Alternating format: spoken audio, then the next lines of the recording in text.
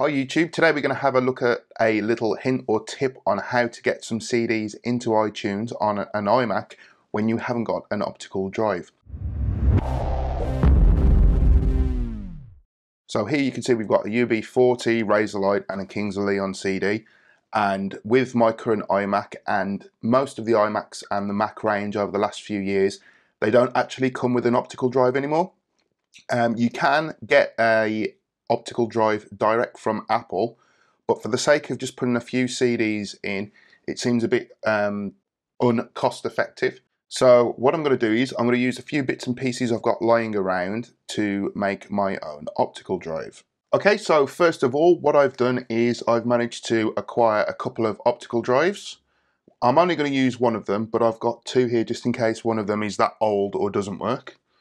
So first of all, we've got an old Philips CD writer and as you can see this was actually made in 2003 so it is quite old 13 years old. Um, and it is an IDE connection and we're using the old Molex power connector there instead of the SATA power connector. So that's one drive if that lens is all messed up dirty full of fluff dust whatever then I've got a second one and that one again is made by Philips. This one is just a DVD ROM drive, but as we know, DVD ROM drives will play CDs, and granted I'm only importing CDs, I don't need anything special. And this one again, as you can see there, manufactured October 2003, so this one is 13 years old again, pretty much. Right, so how do I connect an old internal IDE drive to an iMac? Well, first of all, we need to get power to the drive. So what I have here is, um, it's just a cheap and cheerful power brick here, which connects via a figure of eight, and obviously you'd use the cable specific for your country to connect it to the, uh, the power. And then on the other end, we have a Molex connector, so obviously that would plug directly into the drive. So we have power to the drive, but how do we get the data from the drive to the actual iMac itself? Well, what I have here is another cheap and cheerful thing you can find on Amazon or eBay. And that is a USB 2.0 high-speed IDE adapter. So that plugs directly into the back of the drive.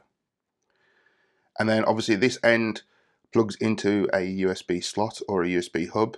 Unfortunately, as you can see, the cable on this is not very long at all. So luckily enough, I do have a USB hub right next to my keyboard, so I can plug directly into that.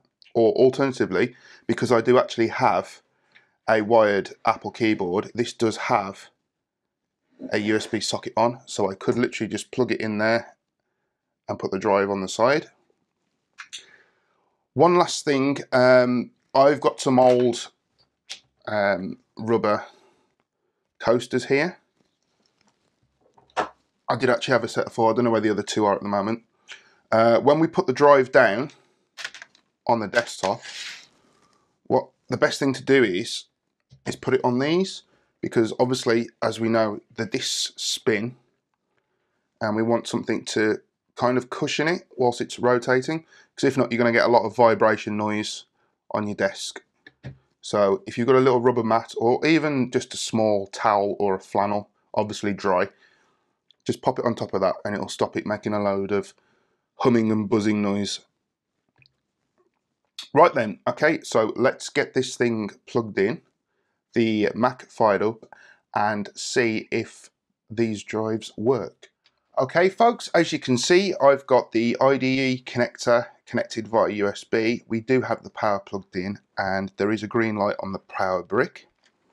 So what I'm going to do now is I've got the drive tray open on the drive. So what I'm going to do is I'm just going to drop a CD in there and then close that up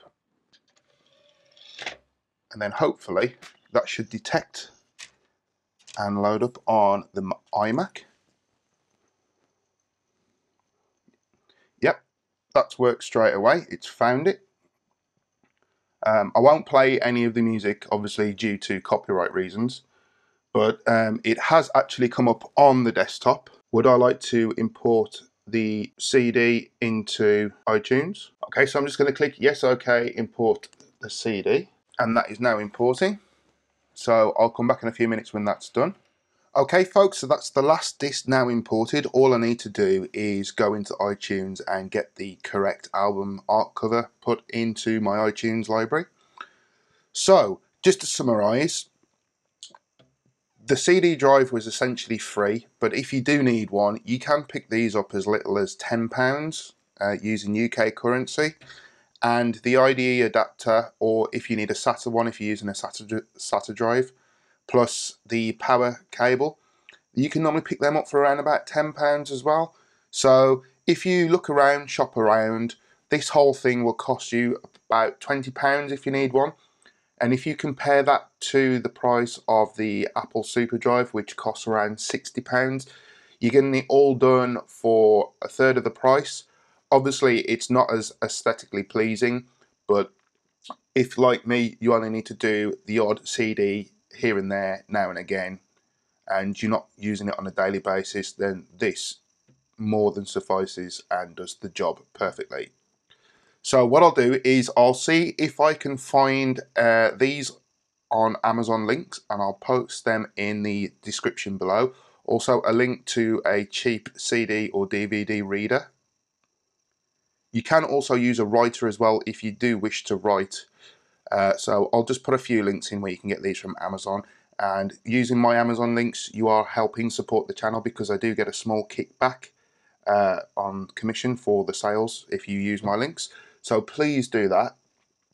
And as usual, thank you very much for watching. Please don't forget to comment, like, subscribe and share this video with everyone you know.